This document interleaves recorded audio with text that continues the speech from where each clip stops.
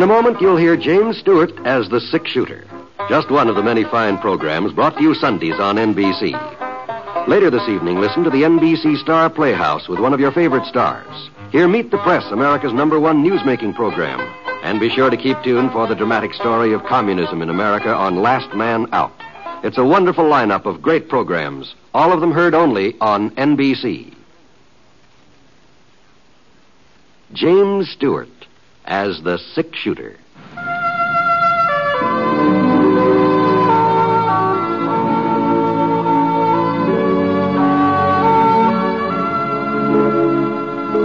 The man in the saddle is angular and long legged.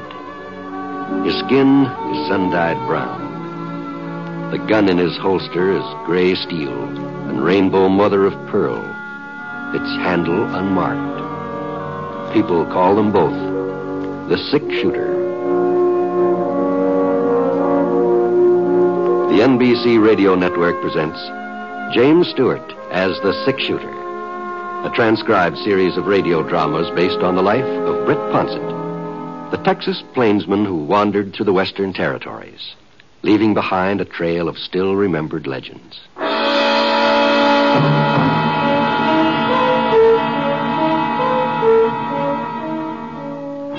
The fire had almost gone out, and the evening chill crept through the chinks in the rough hewn logs of the cabin walls.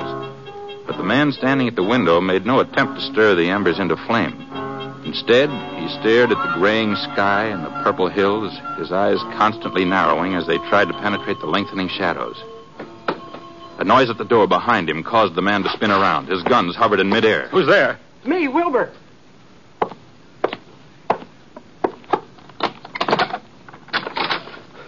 They're, they're coming, Floyd. I've seen them from the top of the ridge. How many? Oh, Fifteen, maybe more. It's pretty dark, but fifteen anyway. That ought to be enough. Yeah. Why'd you come back, Wilbur? How come you didn't run off like the others? Well, I couldn't leave you here alone, Floyd. We've been together too long. I ain't giving up. No matter how many there are, I ain't giving up. Sure, sure. That's what I figured. You figured I'd fight it out and you come back anyhow? Oh, back, ain't it? Yeah. Here. Load 'em for me. Huh? My guns, load 'em.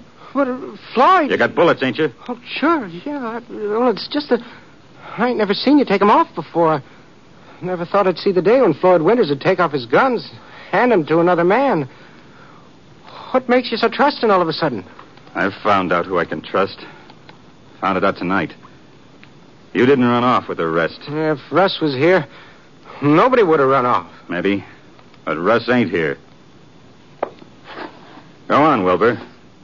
Load 'em for me. Floyd Winters handed the gun belt to his friend, turned, and glanced out of the window. Wilbur English lifted one of the revolvers from its holster and checked the cylinder. There were two bullets inside. He raised the gun and pointed it at the other man's back. He calmly squeezed the trigger twice. The man at the window fell forward, shattering the glass.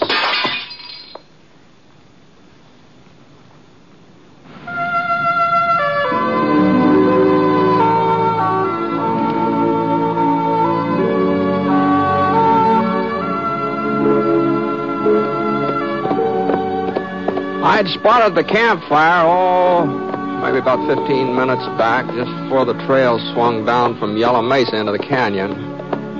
I should have come on it by now. I was pretty sure it was somewhere around along here. But all I could see was just pitch black in every direction. Easy, boy, easy. Whoa. Hmm. Well, maybe it's just been my imagination. Maybe. No, no, doggone it. That's smoke, all right. Whoa, Scar. Whoa, whoa. I slid out of the saddle and moseyed around for a minute or two. And then, ah, then I felt something warm through the toe of my boot. Uh, it was not just warm either. It was. I was oh, yeah. Well, that fire hadn't been out very long. Somebody had just finished burying it under a pile of dirt and sand. So I walked. Get him up, Russ. Hi. What? Hi, I said. I ain't bluffing. You ought to know that. Okay. But there's just one thing. Don't I turn around. Don't try nothing fancy, neither. You alone? Yeah. Yeah, I'm alone. Uh, but wasn't very smart, Russ. now look, Mister, I don't happen to be Russ, whoever he you is. You think I don't recognize you? You think I don't know you've been after me ever since it happened? Now, all I'm I saying felt you. Out there in the dark, I felt you coming closer and closer. And so I built this here fire and waited, and then I put it out just before you got here. Figured you'd get curious and stop. I figured I'd have the draw on you. Now, now, just listen to I me, ain't will afraid you? to kill you, Russ. I ain't afraid to kill anybody now. You should have realized that. You should have realized that anybody else would be easy. After Floyd, even you, Russ, you're going to be easy. Yeah. I never have believed in trying to get off a shot when another man has the draw, but I. The way things were going, it looked like I had to risk it. There just didn't seem to be any way of reasoning with him and making him understand who I was. Heard him take another step. I went down on one knee and twisted around, grabbed my gun. Its shot just skimmed across the part in my hair. Thought it looked like I'd managed to do a little better than that. I heard his gun skid out of his hand, and he went over backwards. He didn't fall, though. He just sat down with a thud. And he stayed that way, sitting there in a heap, just staring at the ground. I picked up his gun and moved in close. It was pretty dark, but I could make out a little fella, short, clumpish, with a kind of a white face. He kept his eyes down, as if he couldn't raise his head, and he, as if he just didn't want to bring himself to look at me. Go on, Russ. You, get it over with. Don't, make me wait. Don't make me beg. I. No, wouldn't do no good. Whatever I said, whatever I told you, wouldn't do no good. Please, Russ. Please get it over. I, I was quick with Floyd. He, he never knew a thing. Never knew what hit him. I, I swear. I don't. Don't just keep me sitting here waiting. Don't do that. You better tie something around that hand. Huh? What? Now, use your handkerchief or a piece of shirt tail or something. Why, he? You really ain't Russ. I tried to tell you that before. Oh, but I, I thought from where you were standing, I, you looked just. A little. Oh, I don't know. I, I was certain. I don't see how I could have been wrong. Well, you sure were, mister. Well, he, he must still be around here somewhere. He, must still be following me. Now, I've been on this trail all day. I haven't seen a single soul but you. No, you. He ain't lying to me. Oh, well, why should I lie to you? Well, I, I didn't mean that. No, don't pay no attention to me. I'm kind of upset. Yeah, yeah. Well, go on. Do something about that hand. Oh, oh sure, sure. It, uh, it ain't hurt bad. The bullet just went through fatty part. Mm-hmm. Well, the next time you try to shoot somebody, you might find out who it is. Oh, I'm awful sorry. Be more careful. Yeah, yeah. Um, uh, my name's Jones. Warren Jones. Is that so? Yeah. What's yours, mister? Ponset. Britt Ponset. The six shooter? Yeah, some folks say that. My, my name's Ponset. Oh, no wonder you was so handy with a gun. Well, I, I sure am glad to meet you, Mr. Ponset. The Jones, you said? Uh, yeah, that's right. Not English? Not Wilbur English? What are you talking about? Well, I thought maybe you made another mistake tonight. Another one? Well, you were wrong about who I was. Uh, you sure you're not wrong about who you are, too? Oh. Well, I guess it don't do me no good to lie to you. Yeah, you're right. My name is English. Mm-hmm. We we ain't met up before. Oh. But I've heard about you. Oh? Yeah. And, uh, And about how you killed Floyd Winters a couple of weeks ago. I heard about that. oh. Well, news uh, sure does travel, don't it? Some news does, yeah. I reckon it does. You, you, you didn't know I was in these here parts, did you? Uh, You hadn't heard I was heading this way. What? Well, you seemed so certain about who I was. I thought maybe you were expecting to run into me. Now, you weren't very hard to figure out English. The way you thought I was somebody else and named Russ, and the way you kept harping about Floyd. Oh, well, now, here, listen, Mr. Ponset. You, you won't tell anybody that we met up. You won't tell them where I am. Know that? Uh, you, you know he's looking for me, don't you? You know he swore he'll kill me. You mean Russ Winters? Well, sure, that's what I mean. And nobody's even trying to stop him. I, I thought folks would all be on my side now. I thought they'd be grateful for what I'd done. Been trying to catch Floyd for years. I, I saved him the trouble. That's true. That's true enough. But, well, they act like killing him was wrong. They act like he was some kind of a hero. Well, Floyd Winters wasn't any kind of a hero. I sure go along with that. Well, then why is everybody against me? Why, why don't they capture us? Oh, I expect they will before long. When? After he's murdered me? Don't, don't they realize that he's just as bad as Floyd ever was? They were two of a kind. Well, you ought to know, English. You were part of their gang, weren't I you? never denied that. Yeah, but I wasn't mean like Floyd and Russ. Oh, I guess I did my share of harm. I rode with them on plenty of holdups, but I never killed nobody. All the time I was with the Winters brothers, I never killed nobody. Except Floyd. You killed him.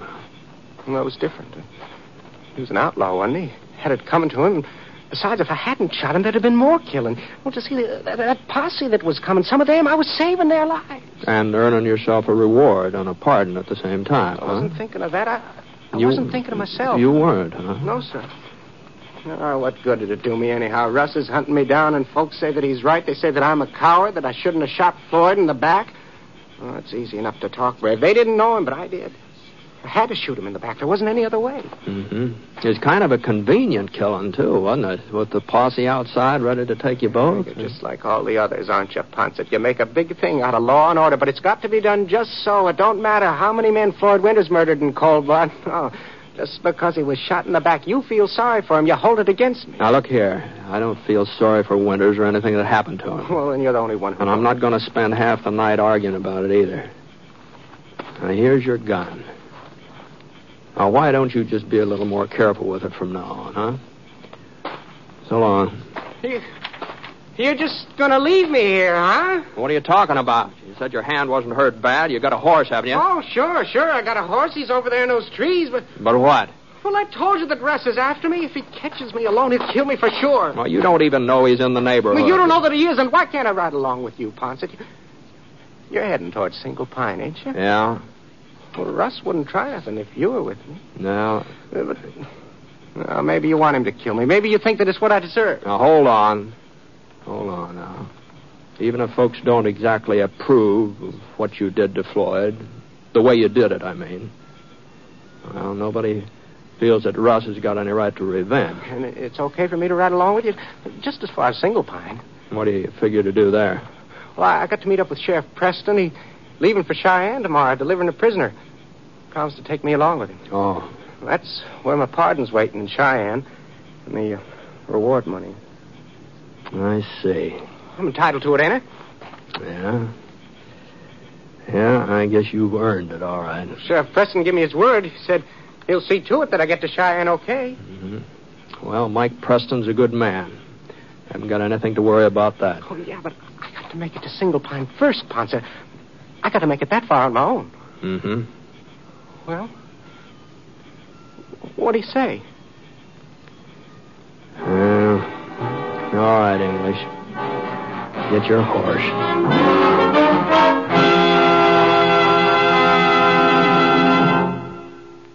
We'll return to James Stewart as the six shooter in just a moment. It's a strange quirk of human nature, but most of us never think, except in the most abstract way, of an accident ever happening to us. It's always the other fellow who's involved. But nevertheless, accidents go right on happening at an ever increasing, alarming rate. And it can't always be happening only to the other fellow. For instance, one out of five families will have a traffic accident this year. Think of that. And how can you be sure you won't be that one? Well, there's one way of piling up some percentages in your favor.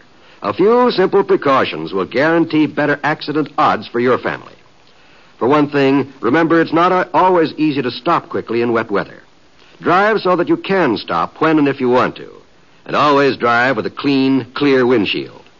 There are a great many safety precautions, and for the most part, it's simply a matter of applying common sense to driving.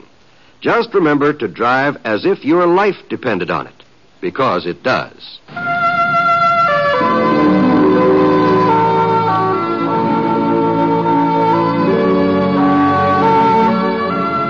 Now, Act Two of The Six Shooter, starring James Stewart as Britt Ponset.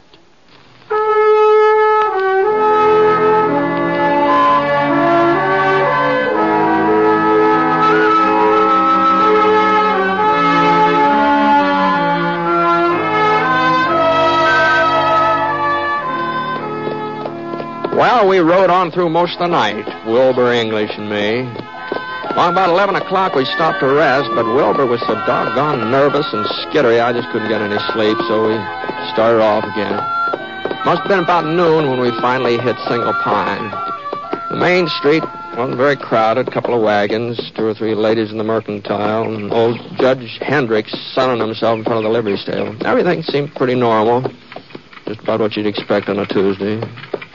That didn't keep Wilbur from looking back over his shoulder every once in a while like he thought somebody was getting ready to put a bullet in the nape of his neck.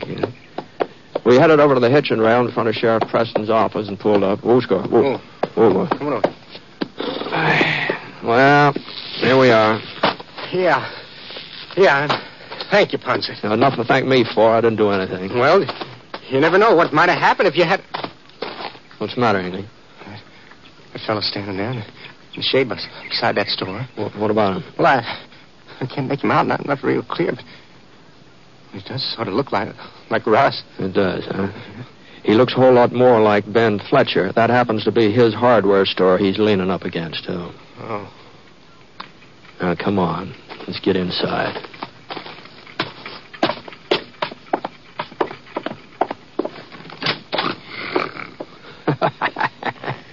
Look at it. Ah, sounds sounds like he's asleep, doesn't That's it? a fine way for a sheriff to be acting. Suppose suppose that had been Russ Winters out there just now. Well, it wasn't. And this isn't Sheriff Preston either. What? No, it's Phil Waterman. Hey, Phil. Hey. Hey, come on. Come on, wake up, Phil. What are you doing around here? Well, a man has to come in town every once in a while. Uh, looks like you're taking it pretty easy, Phil. The baby's got the colic. Didn't get a wink of sleep all night long. Is that so? Why, I hope it's nothing serious. No, no, no. Doc says he'll be all right in a couple of days. Oh, fine. Glad to hear. Is Mike around? Yeah, you just missed him, Britt. Oh? He left about an hour ago. I'm holding down the fort till he comes back. He, you mean the sheriff's already gone to Cheyenne? Hmm? You heard me? He's gone? No, no, he had to take some men over toward Red Rock. He's putting off his trip to Cheyenne for a day or so. He's putting it off, is he? Yeah, that's what he said. Well, well, what am I supposed to do? Just sit around and wait for him? The sheriff off gallivanting somewhere? Who's going to protect me? Just what is it you need protecting from, mister? This is Wilbur English, Phil. Oh. Well, uh, the sheriff promised that he'd see that I got to Cheyenne. He, he promised he'd take me with him. Well, he can't take you till he goes himself. But he left word he was expecting you. Said I was to tell you to sit tight and not leave town. Hmm, I might have known that he'd pull a stunt like this. Oh, wait a minute. What are you talking about? You're a fancy sheriff. That's what I'm talking about. I told you they all want Russ to kill me. They all think I got it coming. Well, why do you think that Sheriff Preston picked today to leave town so that he'll be out of the way if Russ shows up, so he won't have to do nothing towards stopping him? That's what. Now, you listen here. If Mike Preston said he'll take you to Cheyenne, he'll take you there. He ain't never gone back on his word yet. Not even with a murdering outlaw. Oh. I forgot you ain't an outlaw anymore. You're just a public spirited citizen. All right, Mr. Public Spirited Citizen. You get yourself over to that hotel across the street and you stay there. When Mike comes back, I'll tell him where you are. Well, what are you waiting for?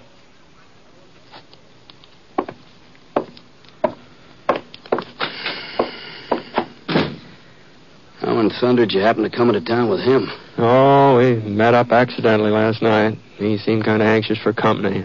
Ah. Funny, ain't it? The way you feel about a man like that. Hmm? Well, getting rid of Floyd Winters was a blessing. Ain't no doubt about it. And I guess we all owe English something for killing him. If he hadn't done it when he did, nobody knows how many other men would have been shot. Yeah, yeah, that's true. Yeah, but somehow, well, in spite of all that, it's pretty hard to like English very much, ain't it? Yeah, it seems like it's darn near impossible, doesn't it, Phil?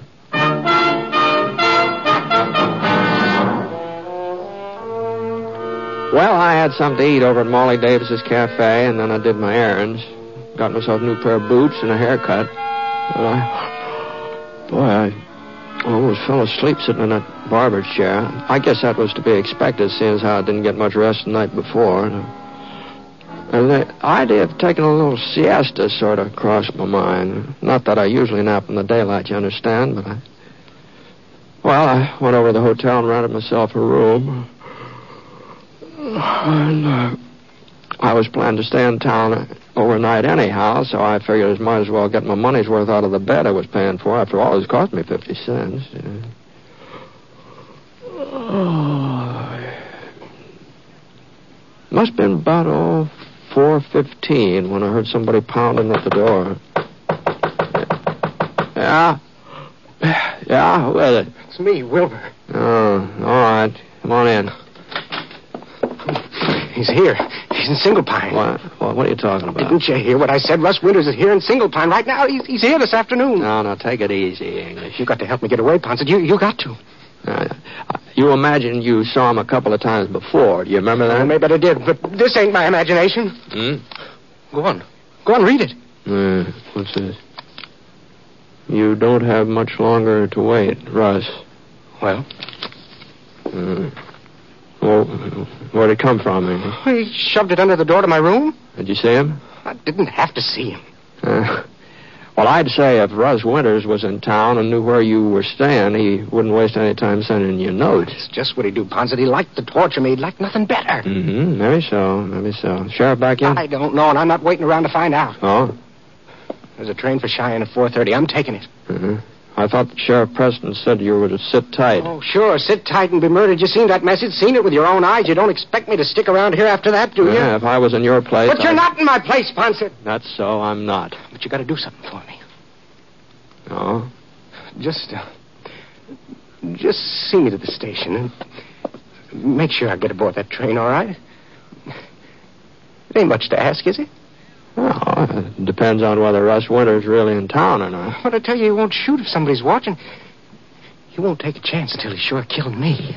I still think you're making a mistake. I think you ought to stick around until the sheriff comes back. Oh, I don't care what you think. Okay, English, go ahead. I'll, I'll keep an eye on you. Well? Well, come on. What for? The depot's right across the street. I've got a front window here. I won't have any trouble watching you from here. Now, Go on.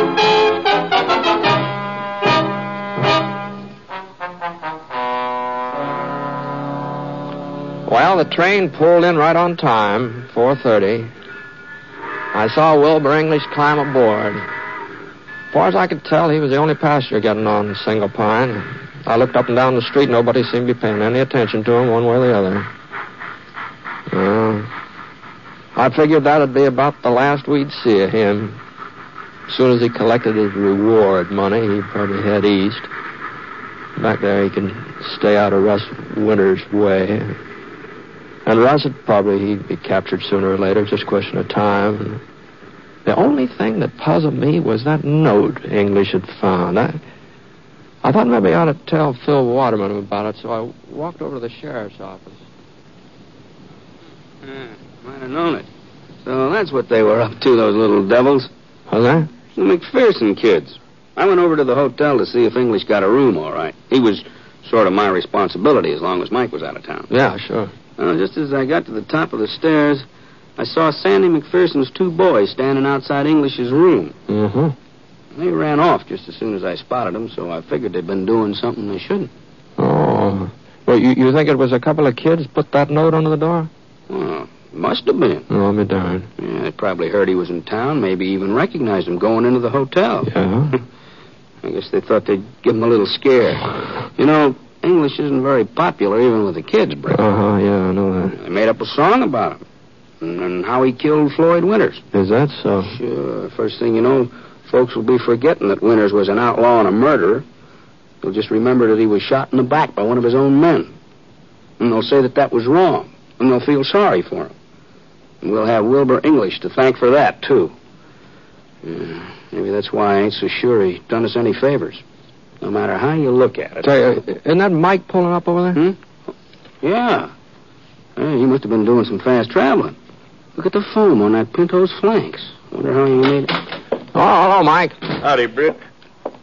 Britt, what are you doing here? I was passing the time of day. Oh? Everything all right, Sheriff? Yeah, it's pretty good, Phil. Pretty good. I thought we were going to get Russ Winters this afternoon, but he slipped through our fingers again. You mean Russ was really in the neighborhood here? Well, not exactly, Britt. Not exactly. Closest he got was about 15 miles east. I heard he was heading our way, though, so uh, I took some of the boys out to see if we couldn't bring him in. We picked up his trail, too, and we were gaining on him, but he hightailed it into Red Rock and grabbed the train just as it was about to pull out. Depot agent remembered him, description and all. I telegraphed ahead they'll be waiting for him in Cheyenne when he gets there. He. he took the Cheyenne train? Union Pacific Express.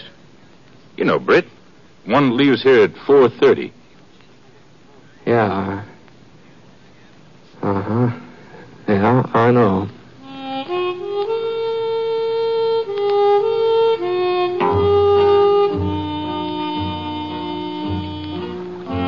Well, they arrested Russ Winters in Cheyenne, all right.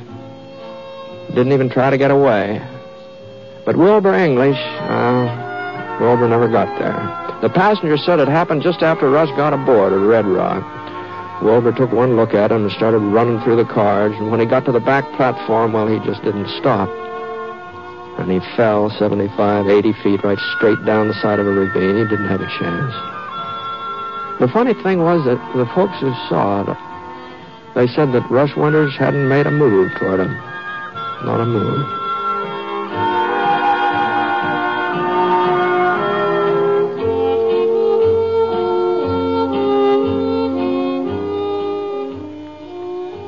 If a neighbor in distress came to your door, would you help him?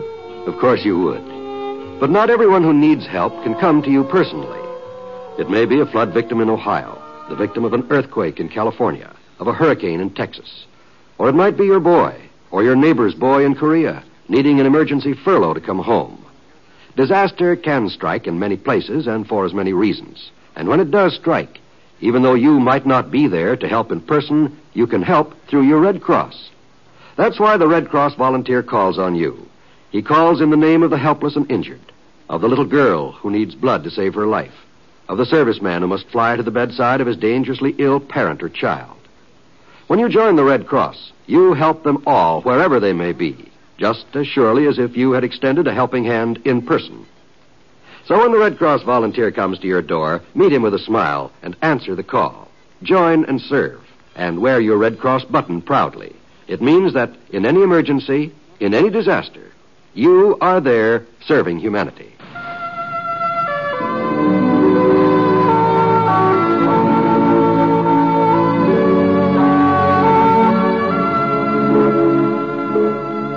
The Six Shooter is a transcribed NBC Radio Network production in association with Revue Productions. It is based on a character created by Frank Burt and is written by him.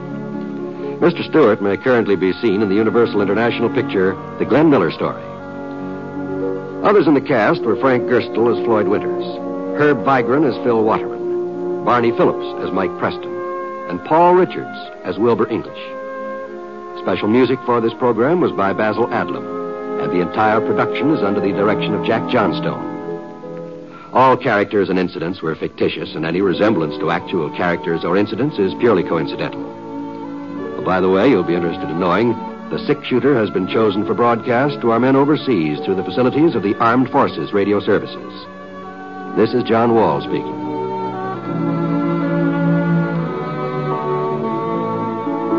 Listen to Jan Murray in Sunday at Home on the NBC Radio Network.